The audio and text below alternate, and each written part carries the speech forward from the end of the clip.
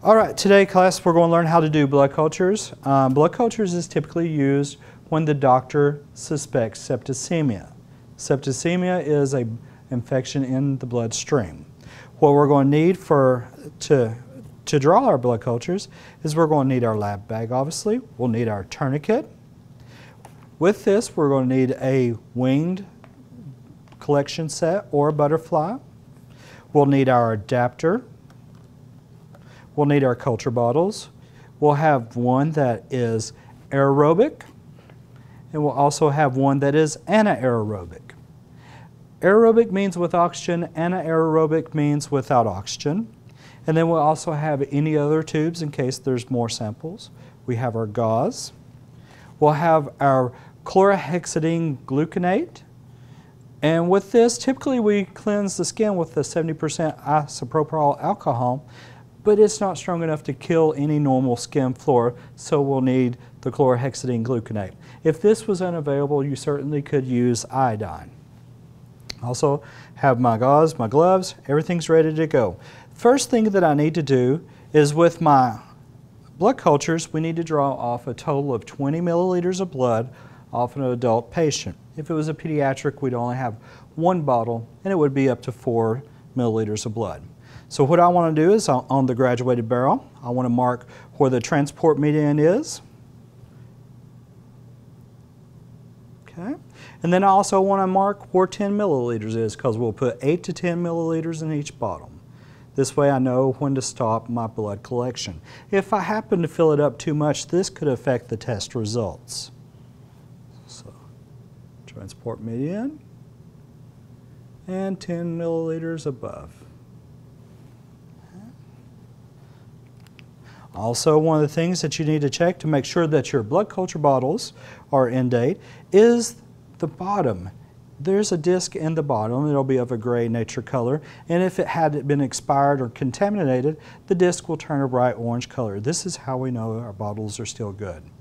These bottles are plastic.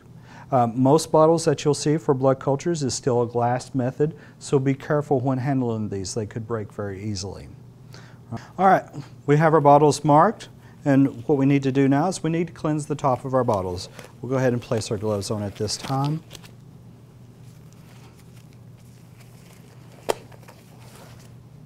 You'll want to pop the caps off your tops. Take alcohol prep, circle method, and leave the alcohol prep on top. Set it to the side. Next alcohol prep, same thing, cleanse the top, leave the alcohol prep on top. Then we'll want to go ahead and palpate our patient and apply our tourniquet.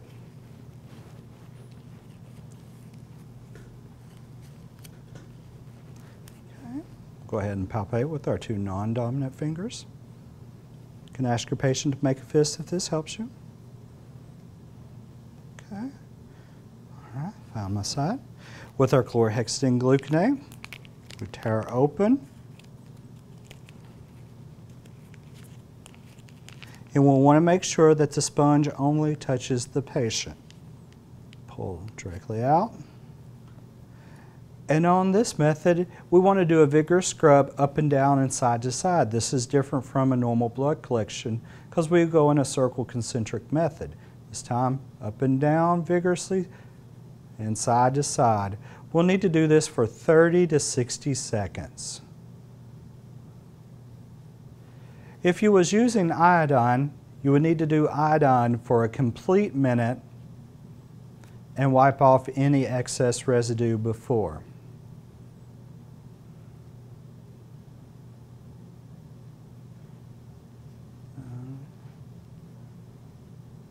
This can be a little bit of time consuming, so you want to be sure to lock the appropriate amount of time as you're watching the clock.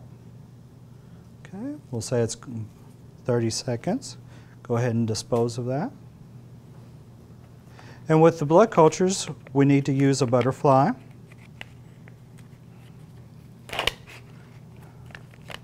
And symbol or needle. And we're also going to use a transfer device from the blood culture manufacturing kit. With this, there's also an adapter in it so we can collect any additional tubes after drawing our blood cultures first. And we'll just screw in the Luer adapter. And we'll want to go ahead and begin with our aerobic first. Aerobic means with oxygen. And then our anaerobic second. Okay. All right, anchor your patient's vein. On the count of three, one, two, three. Have the blood flash.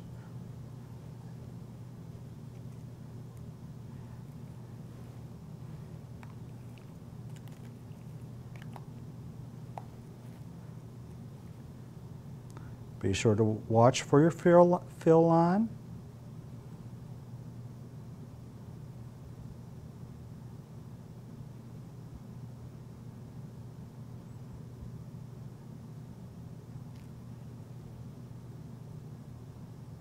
Okay, looks like we have our 10 milliliters in this one. Disengage, set to the side. Grab our anaerobic, insert. Normally you'll hold on to your butterfly, but it, it's typically best to let it sit freely since we're drawing so much blood.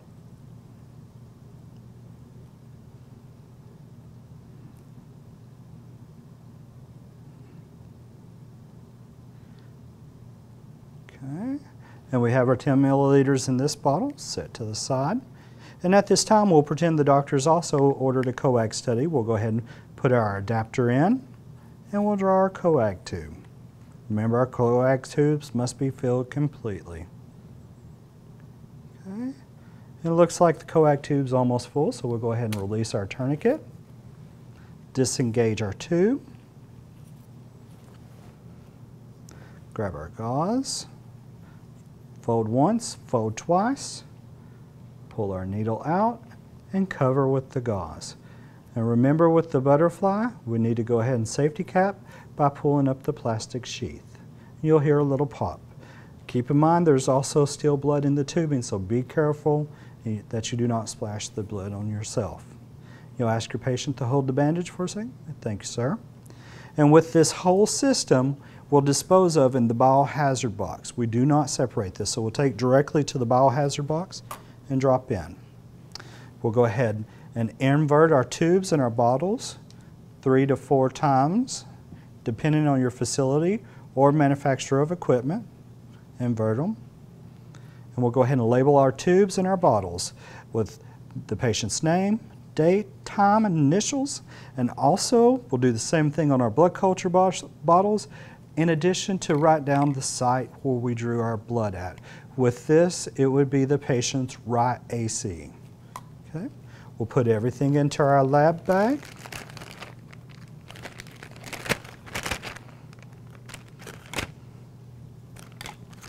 and send to the lab. Now, if your facility has the plastic blood culture bottles, they are safe to send into a pneumatic tube system, but be sure to follow your facility's requirements. Okay? And at this time, we'll go ahead and bandage up our patient with the tape and thank our patient. Please do not forget to instruct your nursing staff that initial results will be resulted in 24 hours and the final result will come in about 72 hours. Okay? And thank our patient. Thank you.